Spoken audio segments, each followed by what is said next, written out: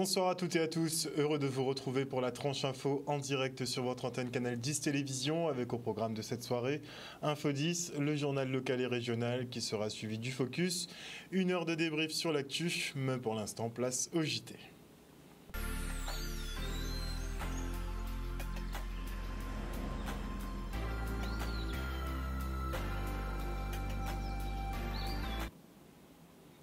Nous sommes le lundi 24 avril 2023 et nous sommes en vigilance jaune pour fortes pluies et orages. Des averses encore localement soutenues se produisent notamment sur Marie-Galante mais aussi sur le nord Basse-Terre du côté de Sainte-Rose. D'autres averses peuvent également se déclencher vers Goyave et Cap-Esterbello en ce début de soirée. La prudence est donc de mise, vous le savez. Et retour maintenant sur cette opération de contrôle routier à Goyave. Les forces de l'ordre étaient à la recherche d'armes et de conduite délictuelle. Regardez. On a, on a quand même une, prolifération, une forte circulation d'armes sur la Guadeloupe aujourd'hui, avec un usage euh, assez conséquent, hein, parce qu'on avait quand même eu quelques homicides depuis le début de l'année.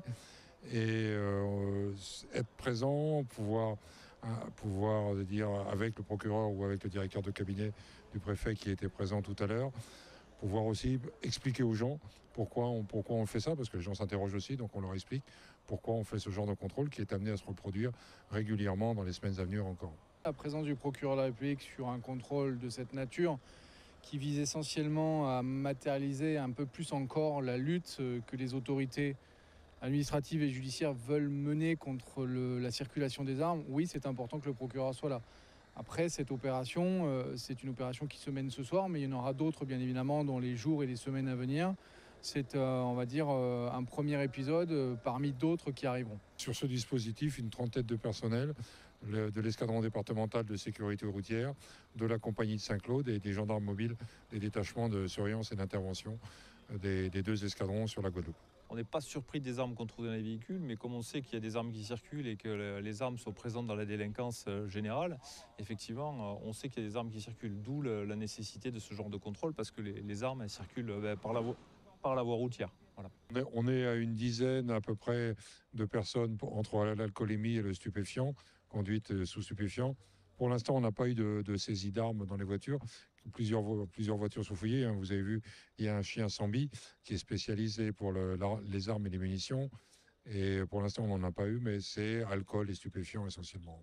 Pas spécialement surpris. Effectivement, les résultats sont plutôt euh, conformes malheureusement à ce qu'on a habituellement sur ce genre de contrôle. Hein.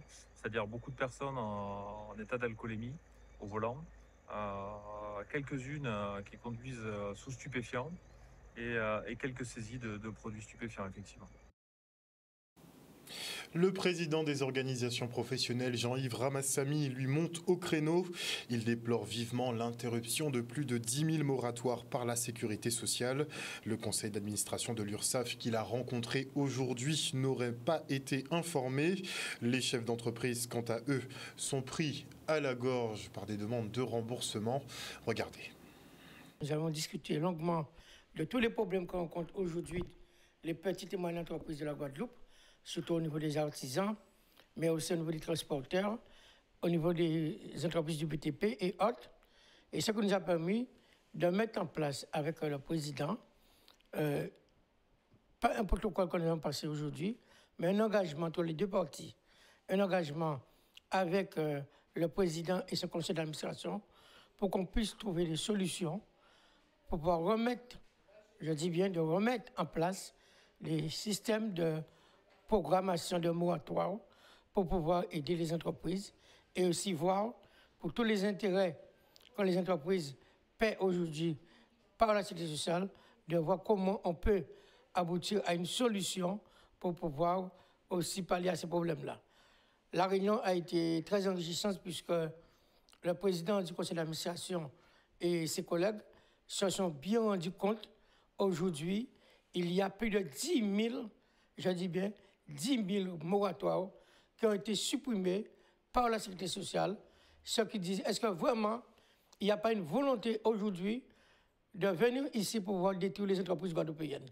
Nous avons appris aujourd'hui que le président et son conseil d'administration n'étaient pas informés, je dis bien n'étaient pas informés de l'annulation des mois trop bien en place les entreprises. C'est grave.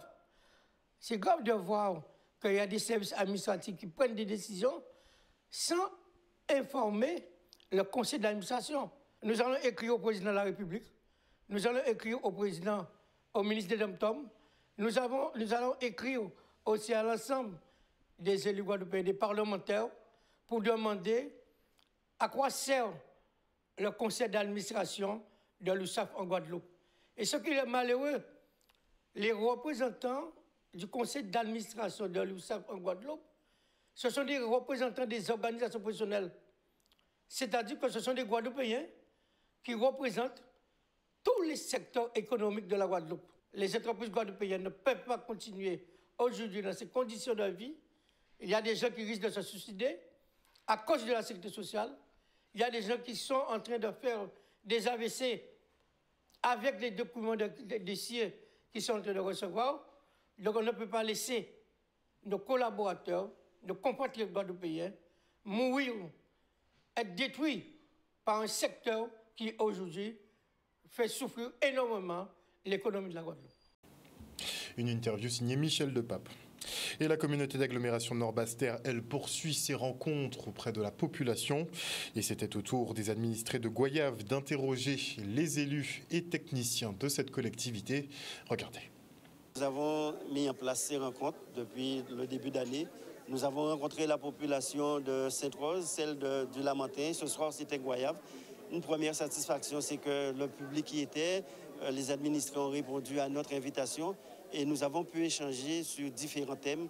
Vous avez pu voir la pertinence des questions et cette nécessité que nous puissions apporter les réponses. Euh, et ma satisfaction aussi, c'est la collaboration que j'ai pu obtenir des, des directeurs de la CNBT qui ont su euh, nous accompagner, compléter les réponses quand c'était nécessaire. Ce type de réunion est important de manière à ce que la CNBT permette à la population d'être au fait de certaines choses et surtout de donner le là sur l'évolution au fur et à mesure des différentes étapes qu'ils ont euh, enfin, sur les dossiers qui sont en cours. Parce qu'il est, il est important qu'aujourd'hui, euh, ce qui se passe au niveau de la communauté d'agglomération, que les habitants, toutes les habitants, tous les habitants de la communauté d'agglomération soient vraiment au fait des choses, soient au courant, pour qu'il y ait une véritable coordination. Aujourd'hui, il faut que le, le peuple marche avec la communauté d'agglomération. Je crois qu'il était important aujourd'hui pour qu'on puisse rétablir les choses euh, et rétablir certaines vérités également sous les compétences, parce qu'assez souvent, ben, ce sont les maires qui reçoivent tout. Et je crois que le président de la communauté d'Aglo a, joué le jeu en disant voilà mes compétences, voilà ce qui peut être fait, voilà où nous agissons euh, dans plein de domaines. Euh, que ce soit sur le plan de l'écologie par rapport à l'identité même de notre territoire communautaire, que ce soit aussi sur le plan du transport, que ce soit sur le plan de, la gestion euh, des risques en matière d'inondation. On l'a vu avec les questions qui ont été posées sur la GEMAPI, la prévention des inondations, que ce soit aussi sur le transport scolaire, sur l'économie, sous les aides aux entreprises, puisque aussi des activités économiques. Donc voilà, tous les domaines ont été abordés euh, ce soir avec une population attentive, intéressée et euh, qui était aussi une force de proposition et qui demandait de l'innovation sur notre territoire. Il y aura une déchetterie dans chaque commune. Euh, nous avons pu faire le traitement des dépôts sauvages. On va installer 60 caméras. Nous avons une quinzaine de jeunes qui vont pouvoir accompagner. On va mettre des composteurs dans chaque foyer. Euh, nous allons mettre en place des chantiers d'insertion. Tout cela pour faire en sorte que nous soyons ce territoire de haute qualité environnementale. Et ici à Goyave, compte tenu des dégâts qu'a causé Fiona, il y avait cette question sur, euh, sur la ZAC de l'aiguille, sur la nécessité d'aménager les berges, de protéger les berges. Et c'était l'occasion pour moi d'informer qu'au niveau du budget de la CNBT, c'est 10 millions que nous allons mettre cette année. Le reportage d'Olivier Moradel. 25 petits bourgeois bénéficient du dispositif Insertion Plus. Malgré leur diplôme allant jusqu'à Bac plus 5, ces jeunes ont des difficultés à trouver un emploi. Ils seront donc accompagnés pendant trois mois pour concrétiser leur projet professionnel. Le reste en image. C'est un point important de la politique euh, au sein de la ville de Petitbourg. on a mis en place un établissement justement pour assurer l'insertion et la cohésion au niveau de notre population. Et nous savons que notamment beaucoup de nos jeunes ont des difficultés en matière d'insertion, ont des difficultés pour accéder à l'emploi, euh, pas seulement parce qu'ils ne seraient pas diplômés, parce qu'ici justement dans la salle aujourd'hui, nous avons des jeunes qui sont titulaires d'un master et ce n'est pas pour autant qu'ils aient pu accéder à un emploi. Donc il s'agit de leur donner des outils supplémentaires. Nous avons signé une convention de partenariat avec Jeunesse Outre-mer donc, euh, qui occupe les locaux de la Maison de l'insertion et de la cohésion sociale. Et donc, euh, aujourd'hui, ils vont accompagner 25 euh, jeunes petits bourgeois dans un parcours intensif d'une durée de trois mois et par la suite, selon le projet professionnel de chacun de ces jeunes, ils vont les orienter vers les différents partenaires chargés de l'emploi et de l'insertion. Le dispositif Insertion Plus consiste à accompagner ces jeunes euh, durant trois mois, euh, des jeunes âgés entre 18 et 30 ans, euh, vers l'emploi. pour cela, on a des formateurs et des coachs qui interviennent pour pouvoir travailler avec eux la confiance en soi, l'estime de soi, également travailler sur les outils bureautiques, mais également connaître les outils collaboratifs qui existent pour pouvoir euh, développer euh, euh, soit de nouvelles compétences ou pouvoir organiser son travail, mais également sa recherche d'emploi. Ce que j'attends de ce dispositif, c'est qu'il me donne des opportunités afin que je sois capable de pouvoir m'insérer par la suite dans, au niveau emploi. J'ai vu ce dispositif sur les réseaux Facebook où, quand j'ai vu ça, ben, je me suis dit pourquoi pas essayer? Et euh, afin de vaincre ma timidité et peut-être le futur euh, m'améliorer pour pouvoir euh, aller dans les embauches ou les entretiens vers un employeur, vers l'emploi. Aujourd'hui, nous avons 25 jeunes ici qui sont inscrits dans un processus qui va le déboucher justement sur une meilleure préparation euh, pour euh, justement faire face au monde de l'entreprise, au monde de, l'emploi. Et nous, sommes fiers de participer à tout cela avec euh, nos, nos élus de la commission insertion et emploi. Le président du Souvenir français est de passage en Guadeloupe pour célébrer le commandant Camille Mortenol. Cet officier supérieur guadeloupéen, polytechnicien, capitaine de vaisseau de la Marine nationale, a su se distinguer lors de la pacification de Madagascar ou la Première Guerre mondiale. Une gerbe a été déposée sous sa statue commémorative inaugurée le 3 décembre 1995 sur le quai du port de croisière à Pointe-à-Pitre. Certains remettent quand même en cause le positionnement. Bon, il est face à la mer, mais il n'y a pas beaucoup de passages dans cette zone. Regardez. Aujourd'hui, euh, dans le cadre de la visite du contrôleur général du souvenir français, on souhaite euh, rendre hommage à un illustre parmi des illustres en Guadeloupe qui est euh, le commandant Mortonal. Je crois que c'est important, c'est-à-dire qu'on a partagé l'histoire de France à plusieurs reprises. Là, c'est une histoire, je dirais, partagée positive, donc c'est extrêmement important de montrer à, nos jeunes que bah, des, Guadeloupéens dans l'histoire se sont illustrés justement lors de combats pour des valeurs que l'on partage euh, encore aujourd'hui. Et on voit bien que les conflits internationaux euh, ne, nous, nous protègent pas encore, euh, quoi qu'on dise et quoi qu'on ait pu penser. Cette association a pour but de valoriser, de sauvegarder la mémoire combattante de la France. C'est-à-dire la sauvegarder, c'est également ouvrir et permettre aux jeunes d'aujourd'hui de comprendre, de participer à la vie commémorative, mais plus simplement à la vie pédagogique.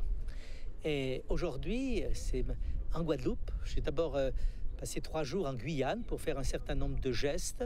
Et je fais trois jours en Guadeloupe. D'abord, euh, je commence toujours par une cérémonie où je souhaite rappeler, donner du sens. Le sens ici, c'est Mortenol j'ai tenu à rappeler que les Guadeloupéens ont joué un rôle important dans la défense de la liberté de la France pendant les deux guerres mondiales et en particulier Mortenol pendant la Première Guerre mondiale. Et donc c'était important aujourd'hui de rendre cet hommage. Et par ailleurs, comme je l'ai dit tout à l'heure, le Covid étant passé par là, c'est vrai qu'il y a eu un repli sur soi de chacun et on doit redécouvrir euh, en fait l'autre et retendre la main à l'autre et ressortir, si je puis dire, euh, pour reprendre euh, cette vie commune et ces partages de valeurs qui sont essentiels pour la vie en communauté. Ensuite, j'irai au SMA, car je crois fondamentalement qu'il est important d'aider au maximum les jeunes qui veulent s'en sortir. J'irai également dans le lycée de Pointe-à-Pitre nous remettrons un drapeau à la classe de défense, les jeunes euh, volontaires pour euh, approfondir, comprendre l'histoire, comprendre la défense. Enfin, on ira au Saintes pour euh, rendre hommage à, à un combattant qui était un dissident. C'est un peu une clôture parce que dire que on ne peut pas être français aujourd'hui sans avoir une histoire commune, mais en même temps une histoire particulière. Retour sur cet euh, hommage rendu à Antri Sidon-Barom par la communauté indo-guadeloupéenne, mais pas qu'à l'homme, à ses grandes œuvres également. Il y a 100 ans, cet homme obtenait des droits civiques pour ceux qui étaient alors des sujets britanniques. Regardez.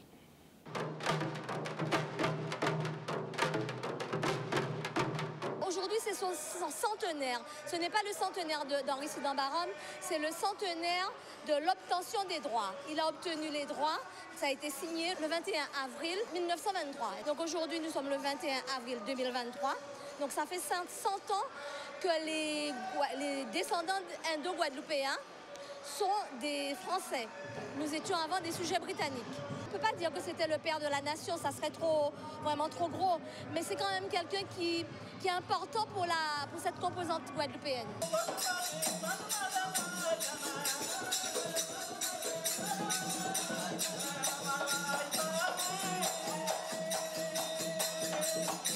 Sommes évidemment au mémorial de l'esclavage, puisque les Indiens, c'est qui? Ce sont des gens qui sont arrivés après à l'abolition de l'esclavage et qui ont été remplacés, les anciens, donc, euh, les anciens esclaves qui étaient donc libérés.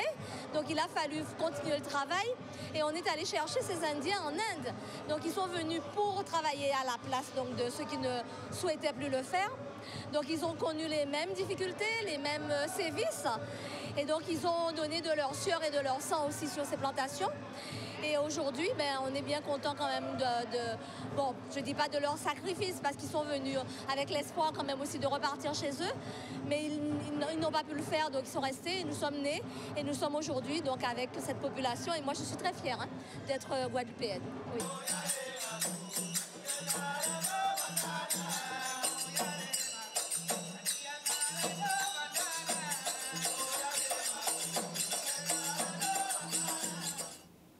Des images de Vianney Valverde.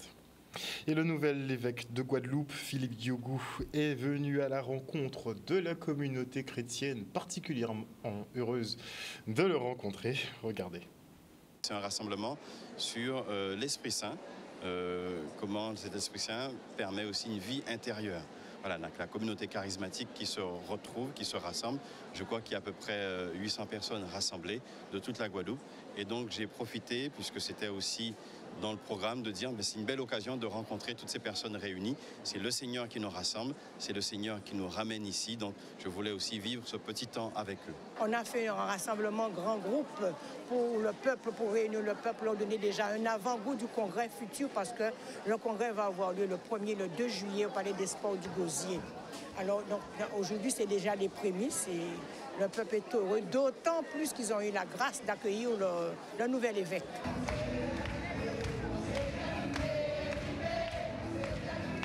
C'est un sentiment de joie puisque ce matin j'ai célébré à la cathédrale euh, à la messe de 6h30.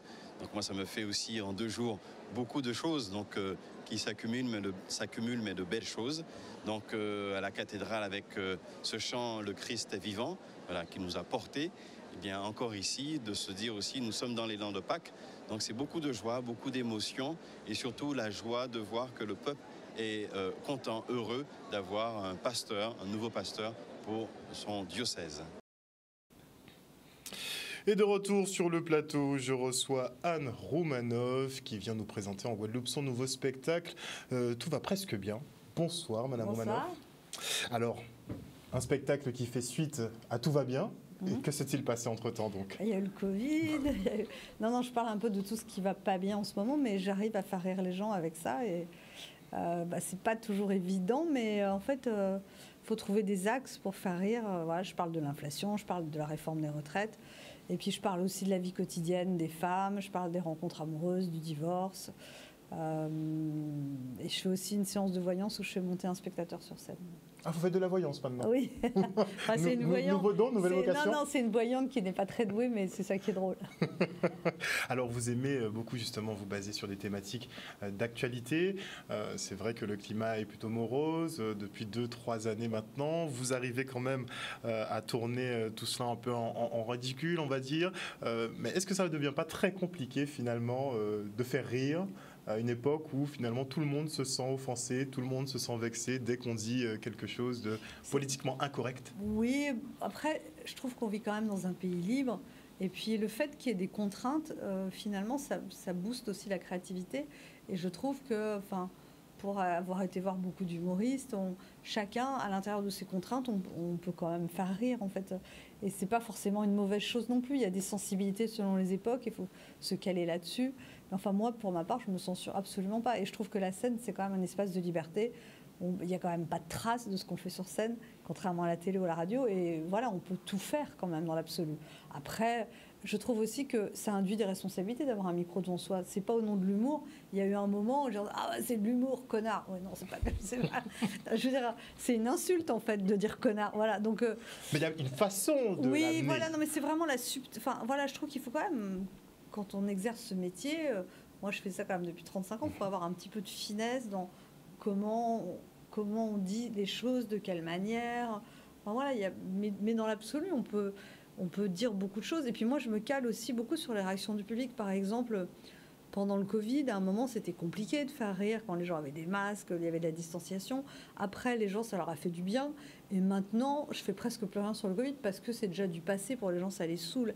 Et il y a par exemple encore 4-5 mois, quand je parlais de l'inflation, les gens rigolaient. Maintenant, ils rient plus du tout. Donc, euh, Donc ça tourne très vite. oui, oui, non, mais c'est-à-dire qu'en tout cas, de dire que c'est cher, ça angoisse tout le monde au supermarché et j'apprends rien aux gens et c'est pas drôle en fait.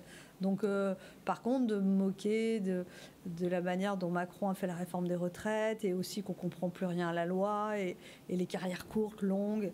Et je dis les carrières longues, et les carrières- voilà, ça, ça fait beaucoup rire en fait. Donc euh, voilà, les, les gens rient beaucoup plus en ce moment des retraites que de l'inflation. Ça me permet aussi, quand je fais les sketchs, en me calant sur le public, de sentir un peu l'opinion, Mhm. qu'est-ce que la sensibilité du moment. Vous jaugez un peu les tendances. Oui, oui, oui, oui. ouais. Hmm. Et vous vous penchez aussi sur ces nouveaux métiers comme les influenceurs? Alors, je fais pas vraiment un sketch sur les influenceurs, mais je, oui, à la fin du spectacle, je fais une influenceuse un petit peu. ouais. Justement, un petit clin d'œil? Ah bah alors non, mais elle est vraiment, euh, elle, a un petit peu- elle a fait beaucoup de travaux de réflexion. elle. Beaucoup de travail de réflexion peut-être après divorce. Ah non, non, l'influenceuse, c'est une un personnage, non, elle, est- elle est jeune. celle-là. Mais que pensez-vous finalement de ces nouveaux métiers? Mais je trouve moi, je trouve que les, les- la transformation de la société sont passionnantes à observer. Et je trouve qu'en ce moment, on vit vraiment une période de grand bouleversement euh, euh, moral, politique, social, à une quête de sens. Alors, c'est sûr que ça induit aussi beaucoup de violence dans l'atmosphère, des gens qui, qui deviennent éruptifs, des, des insultes sur les réseaux sociaux. Enfin, tout prend des proportions très vite.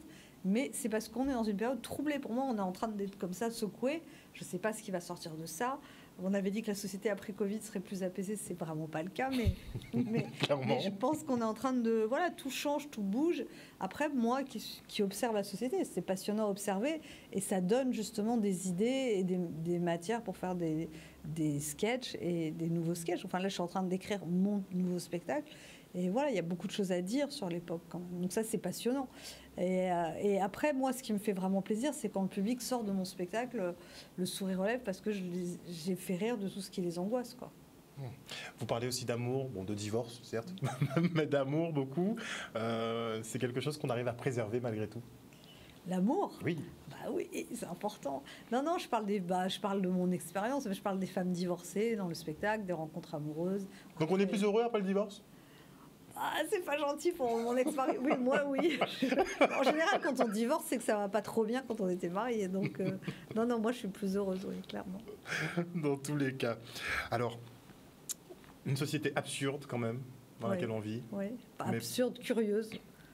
Curieuse, surprenante, euh, avec des contradictions, avec. euh, à la fois, je trouve quand même que l'être humain, enfin, il y, y a aussi des tas de moments où je me dis l'être humain est fantastique aussi. Enfin, il y, a- il y a aussi des, des tas de fois où on se dit ah quand même. Et puis oui, toute cette espèce de de violence comme ça qu'il y a dans l'atmosphère aussi, qui est compliqué, quoi, de, où les gens sont prompts à insulter, condamner, juger. euh, euh, voilà, mais c'est l'époque qui veut ça, quoi. Un nouveau monde, il vous plaît Il vous plaît euh, Ah non, je suis pas, du- moi, je suis pas du tout dans avant, parce que de toute façon, on n'a pas d'autre choix. Et puis Faut vivre avec son temps. faut vivre. Et puis moi, j'ai des enfants euh, jeunes qui me recadrent. Qui qui, c'est aussi quand on fréquente des jeunes, en fait, on, on est, c'est assez super intéressant. Donc non, je suis pas du tout dans le. Non, je trouve que c'est intéressant. Je je sais pas ce qui va sortir de ça, mais il y a aussi des bonnes choses. Faut pas non plus. C'est pas que pourri. là, Non, Tout n'est pas pourri. Non, non, non, mais vraiment, il y a des belles choses aussi qui se passent. Donc il faut pas. Mais évidemment, aux nouvelles, vous parlez que de ce qui va pas, mais il y a aussi des. Il y a, il y a des êtres humains magnifiques. Il faut pas, faut pas tout voir euh, sombrement, quoi. Hmm. Donc un peu de, de positivité, Oui. un peu de rire avec vous. Donc ce sera le 29 avril prochain au Palais des Sports du Gosier. Beaucoup de thématiques d'actualité euh, seront traitées. Euh, vous aimez beaucoup jouer avec la langue française, j'ai remarqué.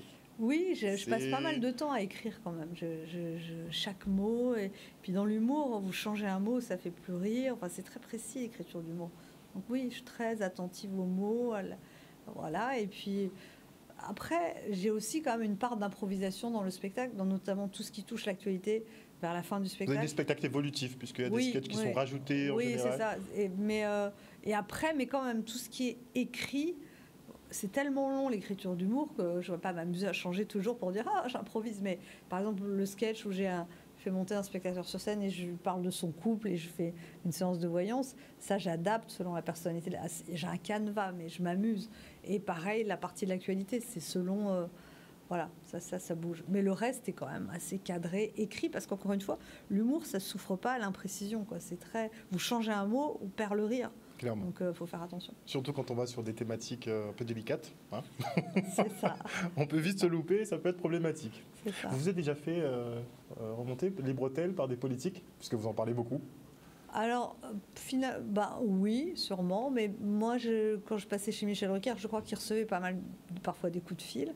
Après, ce qui m'a assez surprise, c'est que parfois, euh, j'ai dit des horreurs et il ne s'est rien passé.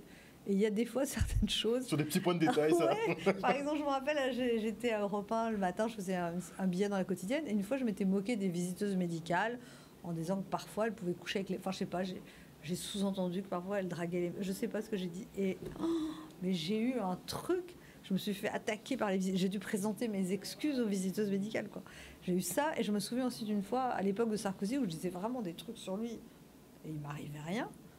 Ah, Une fois, j'ai rencontré, il m'a dit Je vous écoute, je vous lis, c'était pas super. Mais bon, mais il m'est rien arrivé. Non, mais il m'est rien arrivé. Par contre, j'avais dit des trucs sur les banderoles des mecs du PSG, et un mec m'a suivi dans la rue et dit Madame, euh, faut arrêter J'ai dit Faut arrêter quoi? Faut arrêter de dire. euh, dit oui, je dirais plus rien. Mais voilà, le mec, enfin, c'était pas menaçant, enfin, euh, c'était pas. Donc parfois, on sait pas en fait ce qui va déclencher non plus un tollé. euh, voilà. Faut être prêt à tout. C'est ça. en tout cas, vous vous fixez pas de limite Non, dans tous les limite. cas. Vous traitez toutes les thématiques, euh, que ça plaise ou que ça déplaise. Absolument. Donc le rendez-vous est donné, chers téléspectateurs. Vous pourrez retrouver Anne Romanoff. Ce sera le 29 avril prochain au Palais des Sports du Gosier à partir de 20h. Merci beaucoup, madame. Et en Guyane. Et en Guyane Vous n'allez pas jusqu'en Guyane Ah non, non La télé, elle va pas jusqu'en Ah Guyane non, non Enfin, on est diffusé partout, Alors, il y a après... des gens de Guyane qui regardent. De Martinique, je vais en Guyane et en Martinique. Ah, donc il y aura la tournée, effectivement. voilà, jeudi en, jeudi en Guyane, vendredi en Martinique et samedi en Guadeloupe. Très bien. Merci. Ah, mais vous avez quand même fait le petit crochet pour nous voir avant. Bah, j'en sais rien, m'a fait atterrir ici. c'est pas pour vous voir. Demain, je prends l'avion, genre, je dois partir de l'hôtel à 5 h du matin. À 5 h du matin Oui. Ah, quand même Mais il n'y a pas des avions plus tard, en fait, pour aller en Guyane? Non, c'est très tôt les vols pour la Guyane.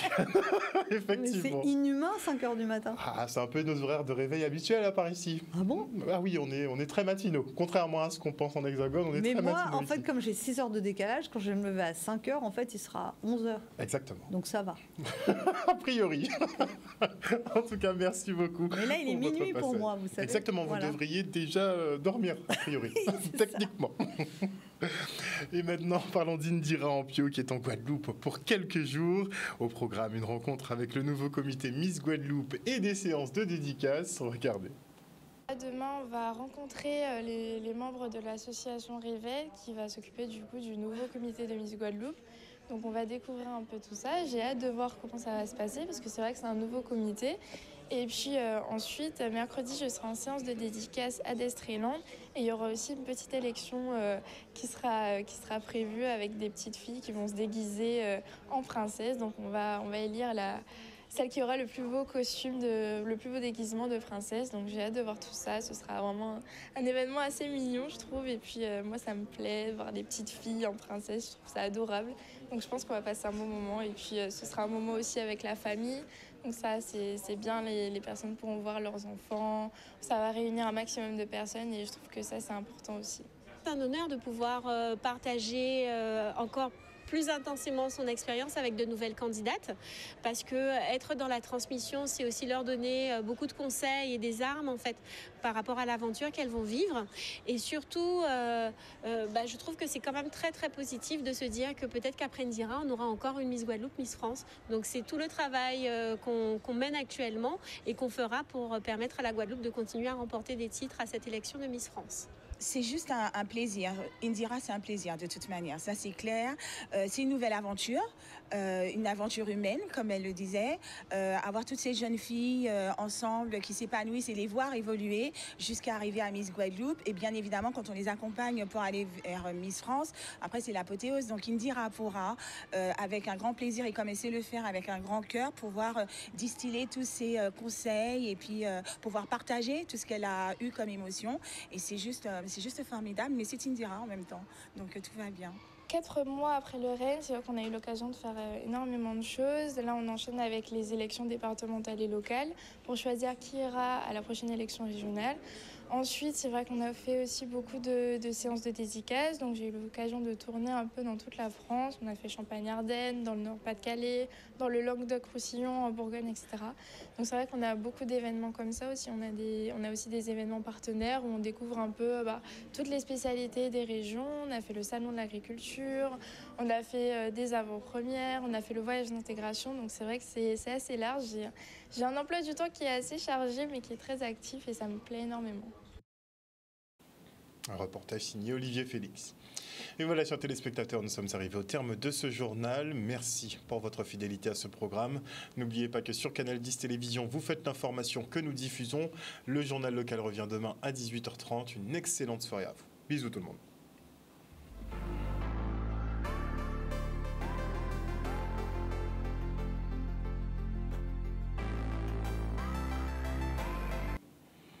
À venir dans la tranche info sur Canal 10, le focus. Et avant la coupure pub, je dis bonsoir à Marie-Hélène Borès, à Acostua Africa, bonsoir à Joël Bazit, bonsoir à Mathieu Bonsoir à Jimmy Kamagouva Aliar, bonsoir à Tina Tanjo, à Claudie Giraud-Girard, bonsoir à Rulé Steve, bonsoir à Mouton Lucide, à Yvonne Dacour, à Eddie Félix, à Juge Red Ladies, bonsoir à Angèle Louvrier, bonsoir à Map Phaéton, à Edwige Prudente, à Woody Cole, à Mag Phaéton. Euh, désolé, j'arrive pas à prononcer. Bonsoir à Perle de Karukira. Bonsoir à Moïse Caramel et tous ceux qui nous suivent sur les réseaux. On se retrouve tout à l'heure.